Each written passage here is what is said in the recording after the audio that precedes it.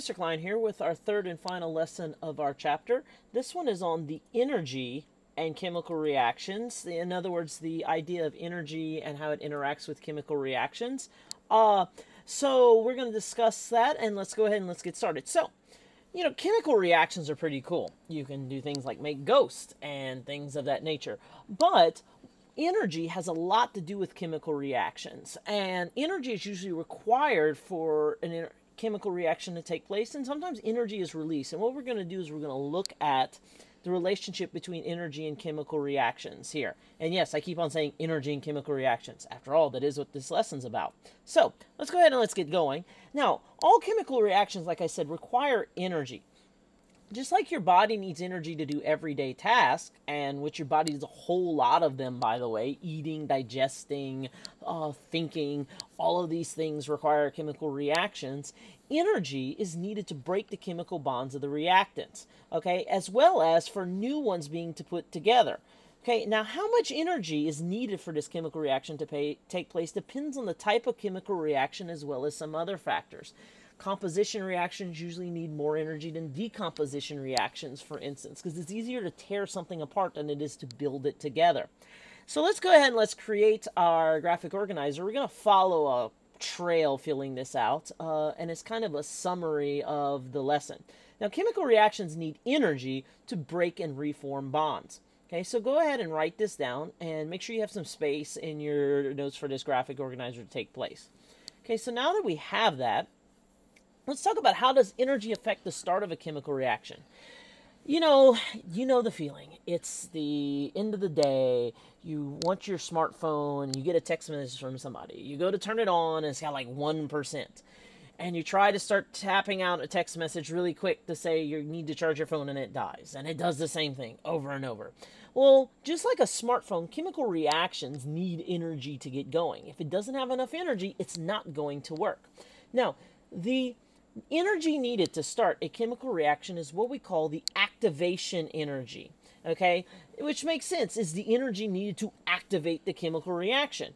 Once you get above that threshold once you get above that level of energy everything takes off and goes from there. Some chemical reactions require more activation energy than others. And you can even change the amount of activation energy required for the same chemical reaction in several ways. And we'll talk about that some more as we go on at the last part of the lesson. So, once again, activation energy is the amount of energy required for the chemical reaction to take place, and it all depends on the chemical reaction.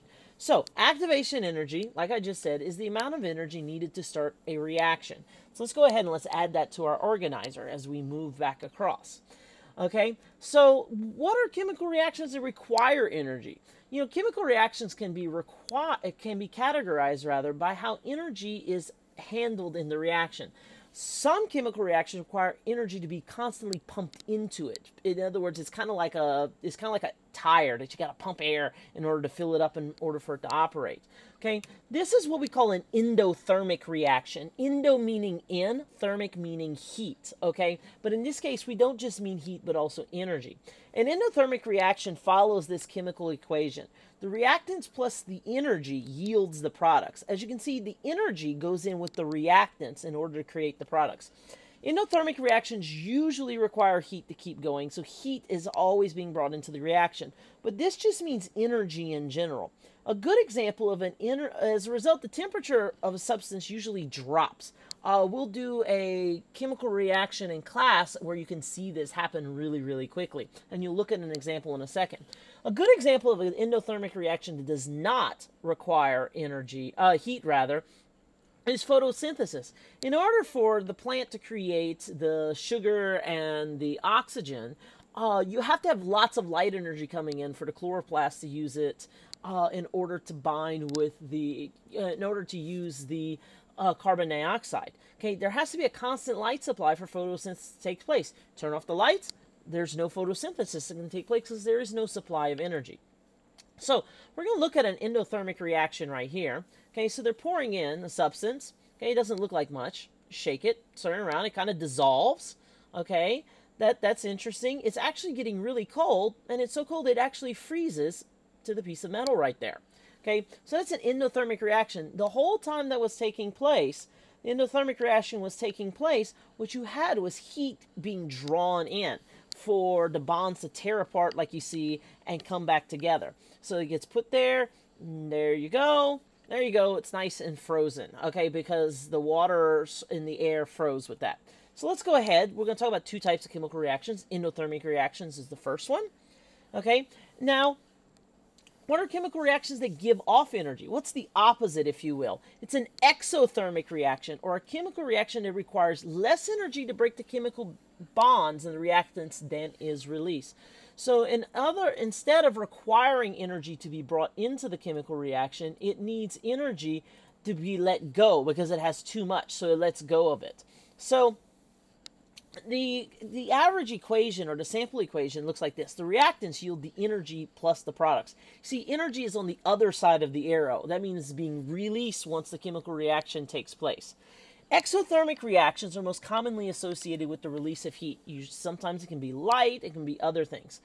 Combustion reactions are exothermic reactions because the burning of the fuel releases not only light energy but also heat.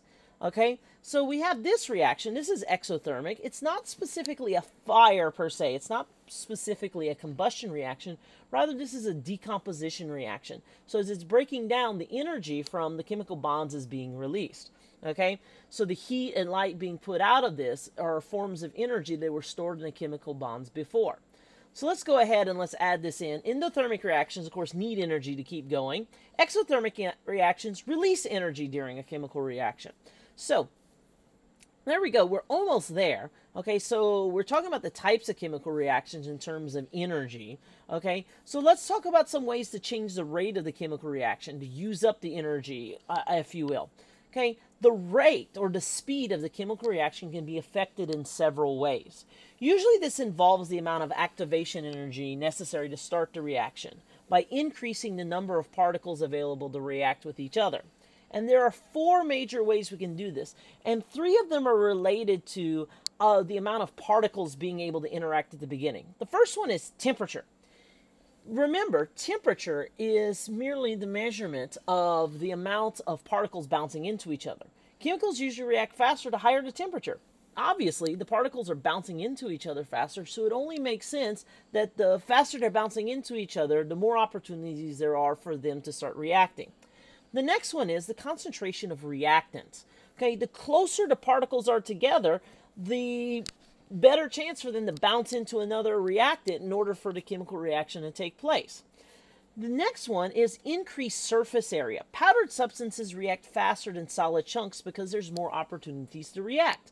You can try this with baking soda and vinegar if you have baking soda and you let it kind of dry out, it kind of bonds together and becomes a big chunk of it. So you put it down, you pour the vinegar on it, and it reacts pretty quickly. But if you put baking soda in a powder and you spread it out and you pour the vinegar on top of it, it reacts even faster. That's because there's more baking soda molecules sitting around for the vinegar to react with. Now, the final one involves a chemical, and you don't need to know much more than just the fact that what it is and kind of how it works. Uh, so we're just going to introduce it to you. It's called a catalyst. Sometimes some chemicals are added to speed up a chemical reaction, but are not used in the reaction itself. In other words, the chemical just stays there and it kind of speeds up the chemical reaction or even slows it down. These chemicals are what we call catalysts. And if you remember this lab that we did in class uh, previously, the elephant toothpaste is a decomposition reaction of hydrogen peroxide. Okay, and the catalyst is actually yeast. Okay, yeast takes the hydrogen peroxide and pulls it apart way faster. Okay, and so as a result, the decomposition happens so quickly, just like what you see in the little animation right here. Okay, without without uh, without a, the presence of catalysts, the hydrogen peroxide breaks down, but it takes much longer. And if you notice the steam, that's heat. So obviously, this uh, elephant toothpaste reaction or decomposition of hydrogen peroxide is an exothermic reaction. It's releasing heat once it's taken place. So let's go ahead and let's finish off our graphic organizer. Okay, so we've talked about how chemical reactions need energy to break and reform bonds. Activation energy is the amount of energy needed to start a reaction. Okay, and speaking of reactions and energy, there's two types of chemical reactions regarding energy. One is endothermic reactions, where you need energy to keep the reaction going. The other is exothermic reactions, where energy is released during the reaction. And you can control the speed of reaction in one of four ways by temperature. The warmer it is, the faster the reaction will take place. Concentration. The more particles are there, the faster it'll take place as there are more chance of them bumping into each other. Okay, then there's a surface area. You increase the surface area available to react, the faster it'll take place. And finally, you have a catalyst, which is a chemical or a substance put into uh, the reactants that either speeds up or slows down the reaction, but doesn't actually change in a chemical reaction. So there you go. That's your lesson. That's your final lesson in the chapter on chemical reactions. Hope you enjoyed it. Hope you learned something. And if, as always, you have any questions, please let me know. And thanks for watching.